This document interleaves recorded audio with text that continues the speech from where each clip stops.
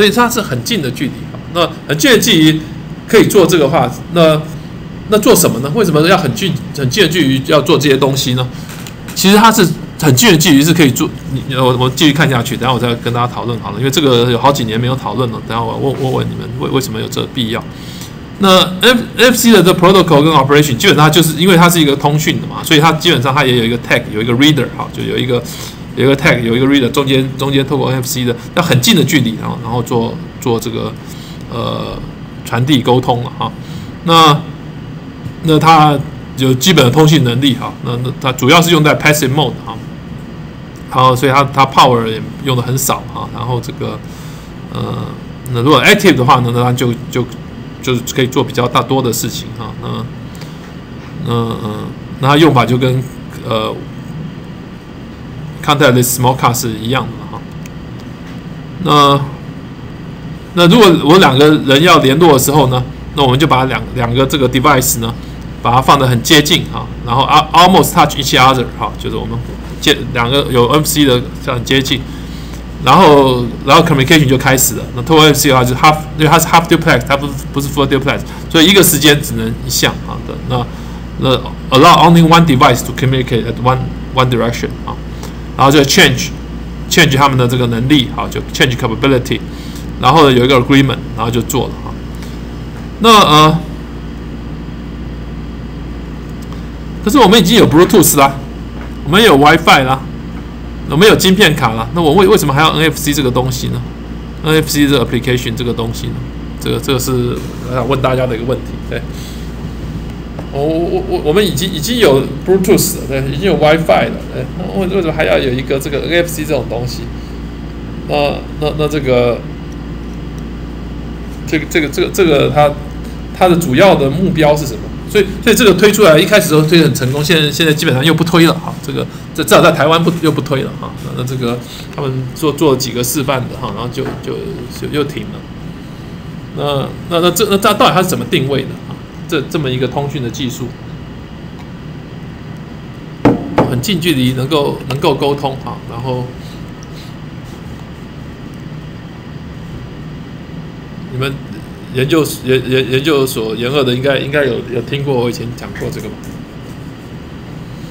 交换名片，我手机交换名片，早期 PDA 交换名片是没有 Bluetooth 的时候是用什么交换？红外线，对，那红外线方向性，我两个对起来，我把名片一按一下，我们就交换名片。那有 Bluetooth 了以后交换名片会怎么样？Bluetooth 它没有方向性。对，要选对？我们这对，可是我们如果全部每个人都有，都我我每个人都有 Bluetooth 都有，我是不是要在 menu 上面来选？对，对对，enable 是 enable，可是我们全部都 enable 了。我们我们现在现在一这边这边如果二十个人，那通通都 enable 了，那我那只有我跟你要交换名片的话，那那这二十个人在上面那怎么办呢？还是要对。像我 IBM 的的电脑，它然后是那叫做 IBM，那我对这道就是那个叫 IBM 的那个。对，可是我们两个人要交换名片，我们是要要，我上面如果如果有一堆，我是不是要要问你，你到底是哪一个？我是哪一个？然后我们我们才能够选到，要一定要选项嘛，一定要去做那个选项的那个动作，对不对？我们的一一堆人都有 Bluetooth 的这个，我我要找到你，然后我们俩。站在一起，我们都有 Bluetooth，可是周围有一堆闲杂人等，对，那那那那这个我们不要，那那我们两个要 check 啊，到底是哪一个好，然后选好，选好了再再交换名片，对不对？那如果有这个东西，有什么好处呢？就这就 touch go 啊，所以它它这它应用都是，就是你在有些为为刚刚刚刚讲那个现象为什么会发生？红外线有方向性，我两个对对着就就可以。那那 Bluetooth 它没有方向性，对，它没有方向性，就大大家我通通收得到。那都我都通收到的时候，那那那这个 NFC 的话，它帮忙你。我们在很近，我们交换名片是两个人很近，那我们两个人就两个手机 touch 很近的 touch 下，建立 NFC 就代表认证了。所以后面就不要再做选的那个动作了，我们就就可以直接。所以它的它的这个主要用在是。Touch 的够，假设你的手机是拿在你手上了，我自己这等于我我跟我来做认证的，拿偷的手机那那那没办法，那是偷来的，就是但但是随便捡来的。但但是基本上它近距离可以就代表我近距离我眼睛看到你就已经有认证完了。然后接下来我们可以做 Go 或 Confirm 啊或 Connect，或者我 Touch 一下我就连就就可以连连到连到这个呃网络上，或连到我 Touch 一下我就连到下去，我可以 download 这个。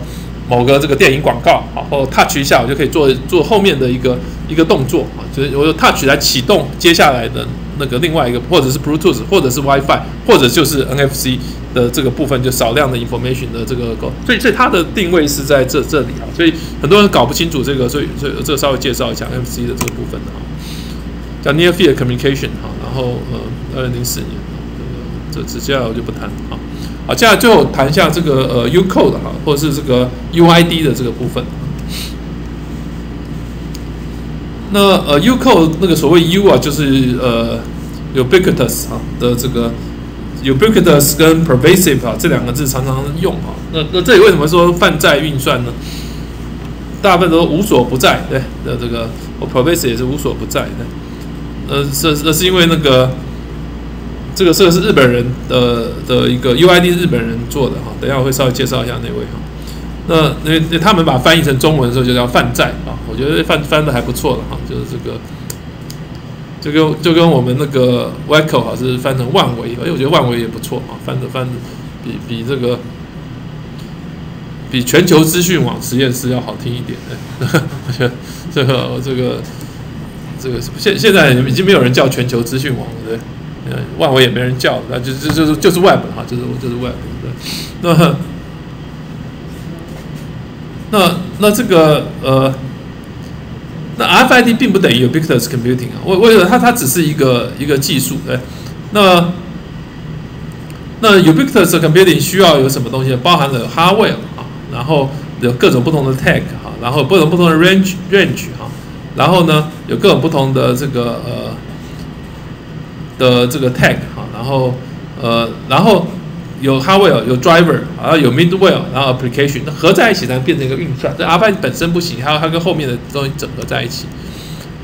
那那日本人他就有一个板村健教授哈，他他他就想到，那他事实上他是后来才想到的，这是我帮他连起来哈。他一开始想到他是他是这个呃想弄一个在 device 上面的作业系统啊。叫做 Tru，，然后，然后这个，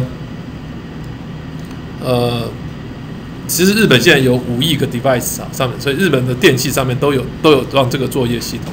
那那这个，呃，所以所以它有有一个这个作业系统啊，最近有很多很多的变形啊，这个等不详细看，等下我看完网站就可以了。那然后呢，它一个一个一个是 device 上面都有这种作业系统。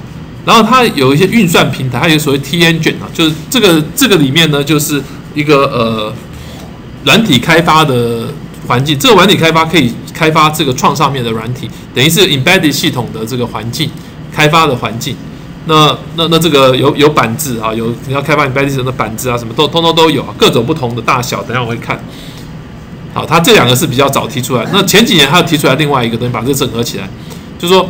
它提供一个所谓的 UIT，UIT 这个东西，等一下我们会看它详细啊。就是那其这个 UIT 是什么呢？就是它里面包含 RFID，包含二维条码，包含了呃一般的 bar barcode，包含智慧卡，甚至于 WiFi，甚至于软体的物件，都可以给它一个 ID 啊。就 RFID 可以转换成这个 ID，也就是我在各种 ID 上面架了一个一一个等于全世界更这个啊更高一层的 ID。那这个 ID 我不管你下面什么技术，然后那那我在上面就就用这个用这个 ID，所以它的概念就是以这个 ID 还有跟那些 device 啊，它 device 开发的环境，然后然后把全世界的这些呃只要有行动装置要要要辨识的有 ID 的东西，它都通通整合在一起，一个单一的一个标准在那里啊。日本人这种想法很很久了嘛，我说日本人做这种事情做很久了。做到最后就是只有日本在用啊，从从那高解析度 TV 啊，到很多第五代电脑啊，这几十年前的出来的，开始到最后推到结果就是日本在用啊，然后包含包连连连那个 WAP 呢也是哈，手机的这个也是变，大家都人家 Java 的行动的也是哈，就是就是反正他他就先弄了以后就是啊，到别人再出来，的，可是可是这概念是没有错的，是很好的哈，那他们已经已经在用啊，那那这。